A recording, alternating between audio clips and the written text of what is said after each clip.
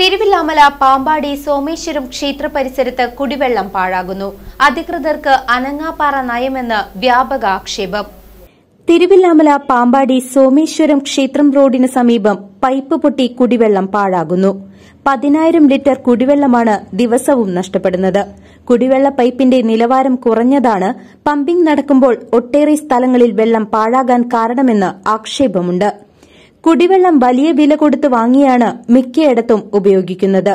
ഇതിനിടെയാണ് ലക്ഷക്കണക്കിന് ലിറ്റർ വെള്ളം റോഡിലൂടെ പാഴായി പോകുന്നത്. തകരാറിലായ പൈപ്പുകൾ മാറ്റിസ്ഥാപിക്കാൻ അധികൃതർ തയ്യാറാവുന്നില്ല. പുതിയ കണക്ഷൻ ഇടണം പറഞ്ഞിട്ട് ഇത്ര വണ്ണത്തിലുള്ള പൈപ്പ് അടിയിൽ കൂടെ ഇട്ട് പോയിട്ടുണ്ട്. രണ്ട് പ്രാവശ്യം എന്റെ കണക്ഷൻ പൊട്ടി. ഇവിടേക്ക് ഉണ്ടായിരുന്ന കണക്ഷൻ രണ്ട് പ്രാവശ്യം പൊട്ടി. ഒരു പ്രാവശ്യം പൊട്ടിയിട്ട് വൈകുന്നേരം ആകുമ്പോഴേക്കും അവർ നേരാക്കി തന്നു. രണ്ടാമത്തെ പ്രാവശ്യം പൊട്ടിയിട്ട് മൂന്നാലഞ്ച് ദിവസം കഴിഞ്ഞിട്ടാണ് വന്ന് നേരാക്കി തന്നു. വെള്ളം ഒഴുകും.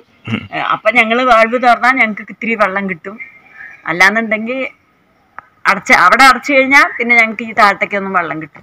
ഈ വർത്തമാനം ചേലക്കറി വാട്ടർ അതോറിറ്റിക്കൊക്കെ വിളിക്കും പറയുകയൊക്കെ ചെയ്തിട്ടുണ്ട്. ഒരു പ്രാവശ്യം പതിനഞ്ച് ദിവസം ഇരുപത് ദിവസം വന്നിട്ടേ ഇല്ല. പക്ഷേ മോളൊന്നും തുറക്കൂല അപ്പം വിളിച്ച് ചോദിച്ചപ്പോൾ പറഞ്ഞത് പമ്പ് ഹൗസിൽ മെഷീൻ കടാണ് അതുകൊണ്ടാണ് എന്ന് പറഞ്ഞു. ശരി അപ്പൊ എല്ലാവരും മിണ്ടാണ്ടിരുന്നു. കാരണം ഒക്കെ ജലനിധിയും ബോർവെല്ലും ഒക്കെ ഉള്ളത് കൊണ്ട് അഡ്ജസ്റ്റ് ചെയ്ത് പോണു ഞങ്ങൾ ഈ വെള്ളം മാത്രം ഉപയോഗിക്കണവർക്ക് ബുദ്ധിമുട്ട് തന്നെയാണ്. C C V news Thiruvilwamala.